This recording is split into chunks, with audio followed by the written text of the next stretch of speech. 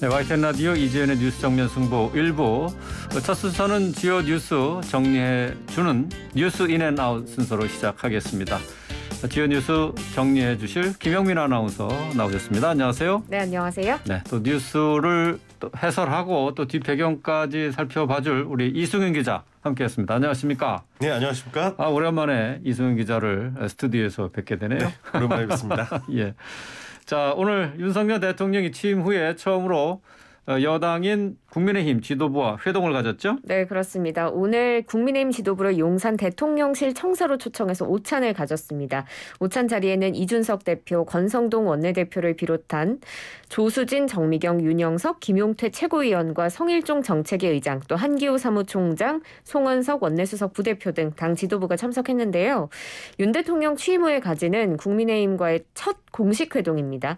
윤 대통령은 오랜만에 친정 식구들 만나는 것 같네. 잘 지내셨 어요? 라고 말을 건네기도 했습니다. 네. 우크라이나를 다녀온 이준석 대표와도 대화를 이어갔는데요. 우크라이나 상황에 대한 이야기들이 오갔습니다. 일단 구체적으로 어떤 이야기들이 오갔는지 궁금하고요. 그 이후의 회동은 또 비공개로 전환이 됐거든요. 어떤 이야기들이 오갔을지 첫 번째 뉴스인 부탁드릴게요. 네, 일단 대통령실 관계자가 얘기한 걸 일단 좀 참고를 해본다면요. 일단 저 당 지도부가 집무실 용산 이전 그리고 청와대 개방 그리고 약식 기자회견에 대해서 높이 평가했다. 그래서 대통령의 최근에 어떤 음. 행적에 대해서 먼저 일단 얘기를 한 것으로 보이고 음, 취임 후한 달을 평가한 거네요. 그렇죠. 예. 그리고 지방선거를 이제 승리로 이끈 지도부에 대한 격려가 분명히 있었을 것으로 보이고 또 국정 운영 상황에 대한 논의가 당연히 있어야 되겠죠. 네. 특히 이제 요즘 물가를 중심으로 경제 상황이 요동치고 있습니다. 특히 이런 가운데 민주노총 화물연대가 총파업에 들어가면서 사실 이제 노동 단체와 이제 정부가 약간 충돌이 지금 이제 벌어지고 있는 상황입니다. 그래서 이 문제를 어떻게 앞으로 풀어 나갈지 그 음. 부분도 아마 이게 나왔을 것 같고요. 또 우크라이나 관련해서 물론 이제 공개석상에서도 얘기가 나갔는데 우크라이나에 대한 지원은 어떤 방향으로 어느 정도까지 할지 음. 이준석 대표가 아마 이제 젤렌스키 우크라이나 대통령의 이야기를 아마 이제 메시지를 담아서 왔을 겁니다. 그래서 이에 대한 얘기가 분명히 있었을 것으로 보이고요. 또 장관 후보자에 대한 아마 그 이야기도 음. 분명히 빠질 수 없을 것 같습니다. 네. 그런데 이제 민들레 등 이제 당내 개파 갈등 가능성을 언급하는 방안도 사실 뭐 논의가 음. 고려가 됐다고 하는데 실제 오찬에서는 이야기가 나오지 않았다고 합니다. 네. 그래서 인사 문제가 오늘 이야기되지 않았다고 일단 이준석 대표가 얘기를 했고요. 그리고 박 아마 근데 이 박순애 사회부총리 겸 교육부 장관 후보자의 음주운전 전력 논란이나 음. 앞으로 거취를 어떻게 할 것인가 이 부분은 아마 분명히 같이 얘기를 살짝은 하지 않았을까 좀 음. 생각이 되고요. 음. 또 이제 윤석열 대통령이 좀 있으면 이달 말에 이 국제 국제 외교 무대 정식 데뷔를 하지 않습니까? 나토 정상회의 참석을 네, 하는데 그렇죠. 이때 한미 한미일 정상회담은 일단 열리는데 한일 정상회담이 열리지가 또 관심입니다. 그래서 이게 음. 또 민심 향배에도 영향을 줄 수 있기 때문에 이 부분도 아마 언급이 될 수 있을 것 같고 또 이명박 전 대통령 특별 사면 관련해서도 아마 당하고 대통령이 또 교감을 필요로 하는 사안이 아닐까. 그래서 음. 이런 부분들이 논의됐을 것으로 일단 지금 추정이 되고 음. 있습니다. 음.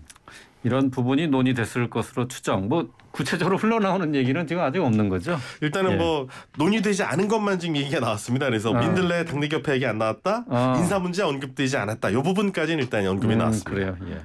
자뭐 민들레 모임은 뭐 이 자리에서 얘기가 되지 않았다라고 했는데 어쨌든 이게 지금 어, 새롭게 국민의힘에서는 네. 또 논란거리로 등장을 했습니다. 그렇습니다. 처음에는 이제 민들레 모임이라고 하길래 네. 저는 약간 들꽃 같은 어, 그렇죠. 예. 의원들의 모임일까? 뭐 이런 생각을 네. 했었는데요. 그게 아니라 이 민들레가 민심 들어볼래의 약칭이라고 음. 합니다.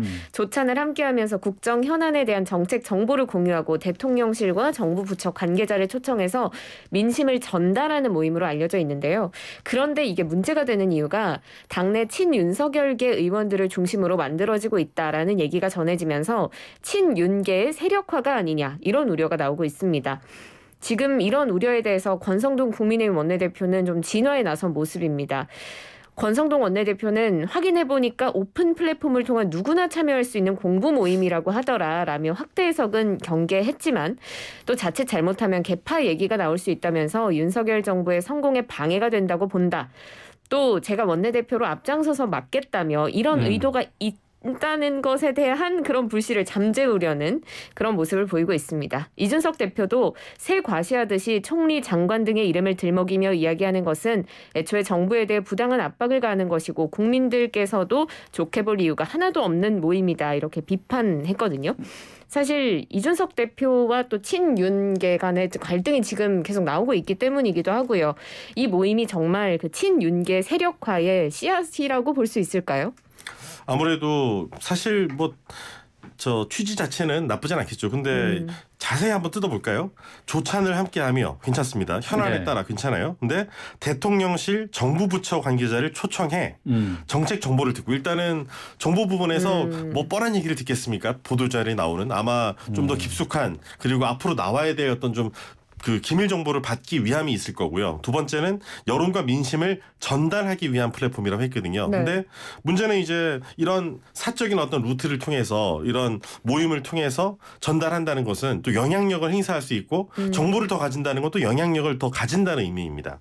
그런 의미에서 이제 부정적으로 이제 볼 수 있다고 일각에서는 얘기를 하는 거고요. 일단 구성 자체도 지금 어떤 오픈형이라고 얘기한 것 치고는 친윤계 의원들이 지금 사실 친이계에 가까운 네. 친윤계 의원들이 지금 다 모여 있습니다. 그래서 장재원 의원도 모여 그 네. 안에 들어가 있고요. 네. 30여 명이 다 이제 이렇게 성, 성격이 확실하면은 사실상 이제 사조직 모임이 되는 건데 음. 이렇게 되면은 사실 당 정대, 당과 정부, 대통령실 협의체가 있는데 네. 이게 군더더기가 될 수 있는 거지 않습니까? 음. 그리고 음. 어느 그 루트가 더 힘이 세냐 아니면 정보력이 뛰어나냐 비교 분석이 계속 이루어질 거란 말입니다. 그렇게 음. 되면은 결국은 힘이 있는 쪽으로 모여드는 이 내부 권력 투쟁으로 비화될 수 있는 문제가 분명히 있을 것 같습니다. 특히 이제 윤핵관 이 누구냐 이래가지고 사실 이준석 대표랑 갈등이 있었는데 이런 게 앞으로 더 이제 집단으로 돼서 커질 수 있다는 문제가 있을 거고요. 음. 무엇보다 지금 당정 대통령실의 이제 공식 채널이 당정 협의회가 있거든요. 네. 이것과 어떻게 역할을 분리할 것인가 분리돼도 문제고 같아도 사실 문제입니다. 그래서 음. 이런 사모임이 지금 도움이 될 것인가. 그래서 지금 뭐 의원들이 이렇게 정보를 공유받고 싶으면 의원총회 차라리 총리나 장차관을 초청하면 된다 이렇게 음. 얘기가 나오는 것도 이런 이유에서라고 설명드릴 수 있겠습니다. 네. 음. 결국 이 민들레라는 모임 자체가 이제 구성 의원들의 성격 또 문제지만은 말씀하신 것처럼 의원들뿐만 아니라 대통령실 또 정부 부처 관계자가 모인다는 것 때문에 음. 이게 사조직화할 가능성이 높다. 그러니까 개파로 성장할 가능성이 높다 이렇게 보는 거죠. 그렇죠. 아무래도 일단 미리 앞으로 국정이 어떻게 나아갈지 방향을 알고 있으면은 사실 의원들은 개개인이 다 입법 기관이기 때문에 각 언론사를 통해서 어떻게든 얘기를 하고 영향력을 앞으로 또 크게 키워나갈 겁니다. 그게 정신의 속성이기도 하고요. 근데 네. 이런 이야기를 또 다른 데서 누구한테 들어서 그 얘기를 또 전파할 수 있는 통로가 있다면은 그러면 그런 통로를 가진 사람이 이미 지금 저 당내에 있는 공식 채널인 당정협의회를 통해서 또 이두 가지로 또 이렇게 공식적으로 비공식적으로 네. 그 영향력을 행사할 수 있다면 힘이 배가 되겠죠. 음. 네. 그런 면에서 이제 당내에서 힘을 가진 자와 힘을 덜 가진 자 이렇게 또 구분이 음. 이루어질 수도 있게 되겠습니다. 네. 뭐좀 얼마 전까지 이제 당정청 어, 회의라고 주로 이렇게 얘기했는데 지금 이제 청와대가 없어지고 어, 지금 대통령실을 바뀌어서 당정대 이렇게 얘기를 하는군요. 이게 청취자 여러분들도 당정대. 좀 예, 당정대 이 얘기를 앞으로 이제 좀 자주 듣게 되고 좀 익숙해질 것 같습니다. 자, 지금 경제가 어렵다는 얘기들 많이 하고 있죠. 그, 그런데 지금 어, 노동계의 파업 때문에 그 걱정하시는 분들이 많습니다. 화물연대가 지금 총파업에 들어간 상태인데요. 오늘 윤 대통령이 이와 관련해서 발언한 게 있죠? 네, 그렇습니다. 민주노총 공공운수노조 화물연대 조합원 약 2만 5천 명이 지난 7일부터 총파업에 돌입했고요. 파업 나흘째인 오늘 윤석열 대통령이 출근길에서 입장을 밝혔습니다. 취재진이 노동계를 향한 적대적 정책 때문에 화물연대 파업 문제가 불거진다는 지적이 있다라는 질문을 했고요. 윤 대통령이 적대적인 정책이요라고 반문한 뒤 여론을 따라가서 너무 노사 문제에 깊이 개입하게 되면 노사 간 원만하게 이 문제 를 풀어나갈 수 있는 역량과 환경이 전혀 축적되지 않는다. 그간 정부의 입장이라든가 개입이 결국은 노사 관계와 그 문화를 형성하는데 과연 바람직했는지 의문이 많다 이렇게 말했습니다.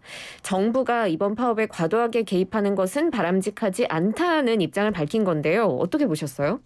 저는 일단 원칙적으로 맞는 얘기죠. 왜냐하면은 기본적으로 사용자가 있고 그리고 사용자의 이제 그 요구에 따라서 일을 하는 그리고 이제 그로부터 페이를 받는 노동자들이 있습니다. 근데 네. 기본적으로 일단 노사 관계에서 일단 문제가 시작된 건데 근데 사실 이제 지난 정부 때 어떤 면에서 노사 정의 항상 이제 붙어 있었고 사실 노와 또 정이 사실 굉장히 가까운 관계여서 음. 사실은 이제 굉장히 힘을 많이 실어 주었습니다. 지금까지 보시면은 주 52시간 그리고 최저임금을 보더라도 음.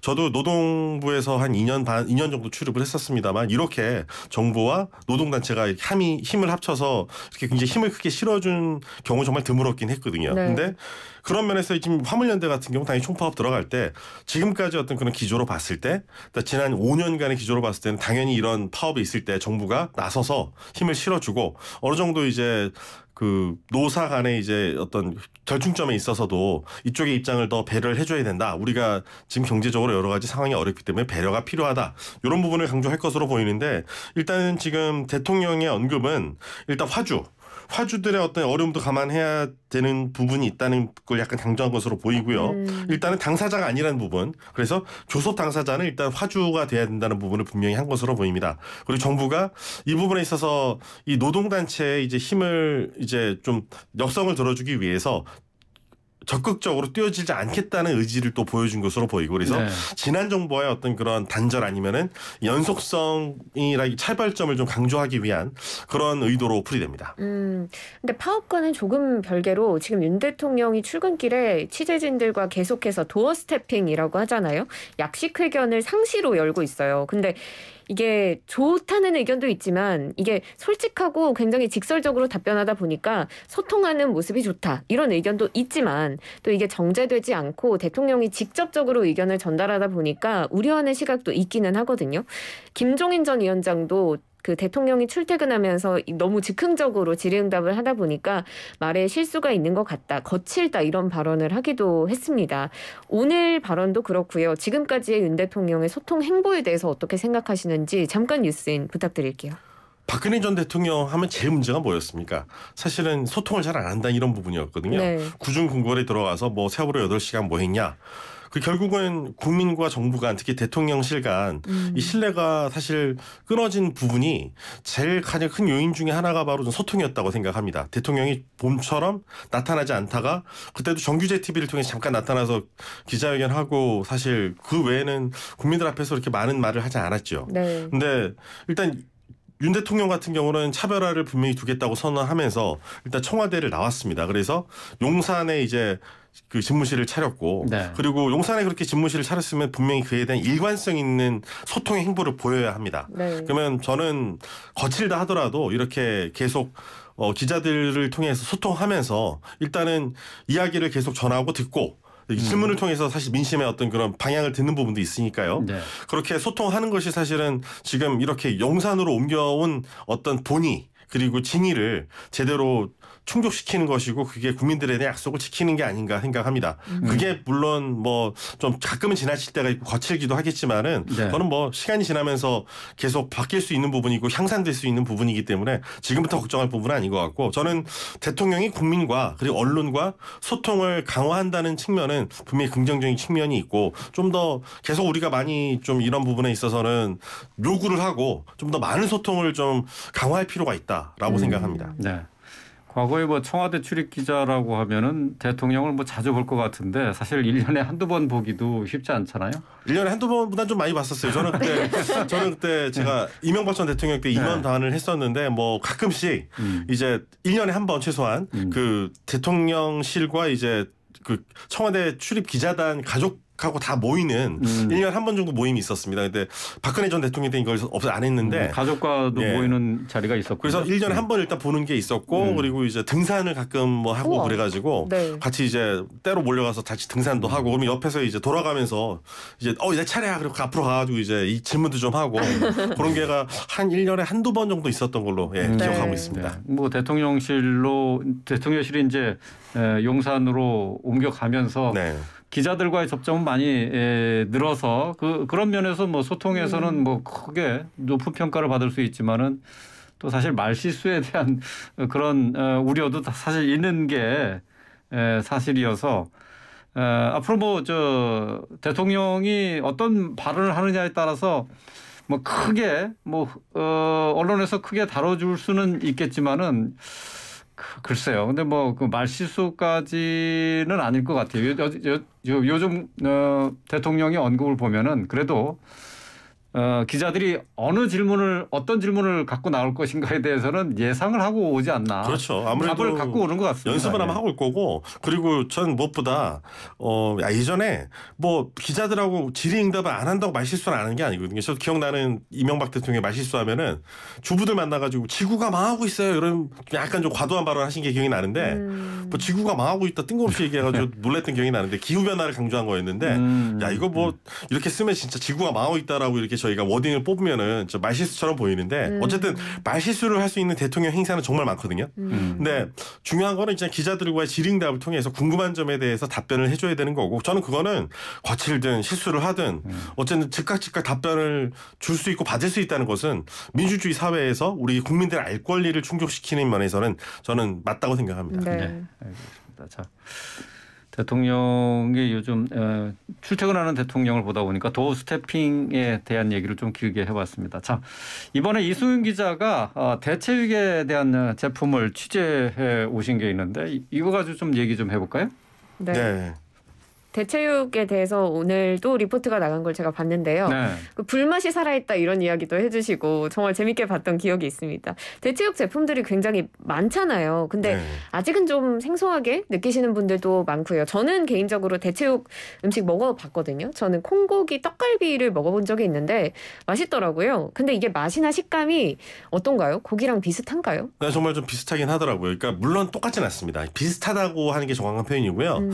그리고 이제 아무래도 맛 자체가 육즙이나 이런 고기 그 고기 특유의 이 뭐랄까요 저는 이 고소함 음. 이런 거는 확실히 좀 덜하긴 하죠. 담백한 맛이 오히려 더 강하고 근데 이제 이런 고기를 좋아하는 사람들이 그래도 이렇게 비건으로 돌아설 수 있도록 노력하기 위해서 뭐 이제 양념을 좀 한다든지 그리고 음. 이제 제가 갔던 레스토랑 같은 경우는 이제 불향을 입혔더라고요. 네. 그래서 음. 불향이 이렇게 싹 들어가면은 어 고기 먹을 때 이 불향이 들어가니까 그러니까 우리 보통 이제 어, 비그 로샥하는 그 햄버거에 보면 이제 그 W로 시작하는 어, 네. 버거를 먹으면 네. 이제 불향이 확 나잖아요. 그렇습니다. 그런 것처럼 이제 아 이게 제대로 고기 맛이 난다라는 음. 느낌을 줄 수 있게 이제 향으로 음. 좀 일단 유혹을 하는 거죠. 그리고 입자 같은 경우에 이제 일부러 조직을 이렇게 좀 섬기게 해가지고 고기들이 보통 이렇게 좀 뭉쳐 있잖아요, 떡져 있잖아요. 네. 그런 걸 좀 살려서 이제 아, 내 고기를 씹는구나. 그리고 질감이 좀 몇번 음. 씹어야지 이제 넘어간다. 아. 이런 느낌을 줘서 이제 고기를 씹는 것처럼 하는데 이 문제가 두 가지가 있더라고요.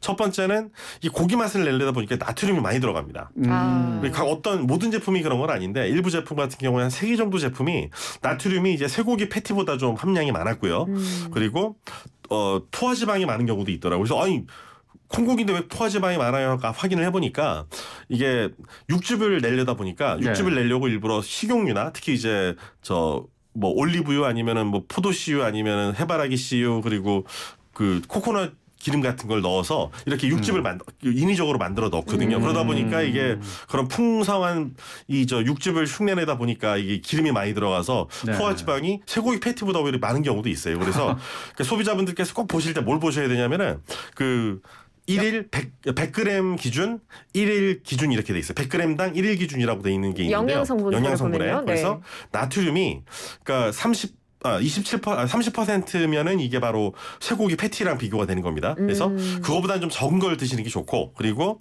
어 포화지방 같은 경우에는 어 27% 미만으로 드시면은 음. 쇠고기 패티, 햄버거 패티 먹은 것보다 훨씬 건강하게 이 비건 제품을 드신다라고 생각하시면 되겠습니다. 잠깐만요. 나트륨은 30% 이하가 네. 돼야 되고 네. 포화지방은 네. 27%. 27%. 네. 그 일일이 들고 다니면서 그 비교를 해봐야 되겠네. 네, 왜냐하면 제품마다 정말 천차만별인 게 다 충족시키는 제품을 제가 못 찾았어요. 딱, 아. 딱 하나 있었어요. 딱 하나 있는데 음. 그건 제가 그 특정 브랜드를 소개할 수는 없는데 음, 음. 15개 제품이 시판 중인 걸 이제 소비자원에서 조사를 했는데 네. 그걸 다 충족시키는 제품은 딱 하나였고 음. 물어봤어요. 그래서 그 소비자원 담당한테 맛있어요 그러니까 아니요. 그러더라고요. 그래서 그러면은 뭐가 맛있어요 그러니까 포화지방이 이제 기준치를 넘게 맛있거나 음. 그 하나는 제품이 맛있고 아니면 나트 나트륨이 이제 기준치를 넘은 게 그나마 음. 두 제품이 맛있다 그러더라고요. 그래서 그래요? 시청자께서 이제 좀 고혈압이시면 이제 나트륨이 든 거는 좀 자제하시고 음. 아니면 이제 저 좀 나는 지금 우리 아나운서님처럼 이제 좀 여유 있으신 분들은 포화지방 난 오늘은 좀 내 몸에게 어, 즐거움을 저도 주겠다. 여유 있지 그러면 이제 않은데요. 포화지방을 이제 좀 많이 든 육즙이 가득한 어. 그런 걸 비건을 이렇게 취향에 따라 즐기시는 것도 방법이 음. 아닐까 한 생각해봤습니다. 가지 더 궁금한 게 있는데 네. 보통은 고기를 먹는 이유가 단백질을 섭취하기 위함이잖아요. 네. 그런데 이게 대체육으로 섭취를 하게 되면 단백질 양을 충분하게 섭취할 수 있나요? 네 그렇습니다. 이 저도 놀랐는데 한국 소비자원의 어제 제일 발표 중에 제일 놀라운 것은 네. 쇠고기 햄버거 패티와 비교했을 때이 음. 100g당 하루 기준 이 쇠고기 단백질 함량이 더 많았어요. 전체적으로 15개 고기보다요? 제품에 예, 쇠고기 오. 패티보다. 그래서 음. 콩 단백질이 굉장히 풍부하게 단백질을 보충해 준건 분명한 사실이에요. 근데 약점이 하나 있어요. 음. 비싸요. 아, 그러니까 일반 쇠고기 햄버거 그러니까 이거보다 비싸요. 그래서 제일 싸게. 예. 맛있게 먹는 거는 진짜 사실 햄버거가 맞는 거고. 근데 네. 햄버거나 쇠고기 고기 먹는 게 맞는 건데 근데 다만 이제 나는 어, 이 동물들을 희생하면서 먹고 싶지 않아 아니면 난 소화가 좀 동물성 지방이 잘 안 돼서 소화가 좀 편하게 됐으면 좋겠고 아니면은 뭐 난 지구를 지키기 위해서 환경 그렇죠. 어, 저 CO2를 많이 배출하는 네. 그 가축들을 많이 키워서 그걸 도축해서 만드는 고기보다는 좀 음. 친환경적인 거 먹겠다 이런 자기 네. 신조에 아니면은 뭐 영양 상태, 소화 상태에 따라서 고르시면 될 것 같습니다. 음, 예, 알겠습니다. 불편한 진실이 또 하나 있네요. 그러니까 비싸요. 아주 맛있는 대체육은 어, 비싸기도 하고 맛도 또 약간 좀 달라요. 예, 네. 건강에도 좀 그렇게 유익하지 않다 하는 점일 것 같습니다. 자, 어, 주요 뉴스 정리한 뉴스 인앤아웃 여기서 어, 줄이겠습니다. 김영민 아나운서 이승윤 기자와 함께했습니다. 고맙습니다. 고맙습니다. 고맙습니다.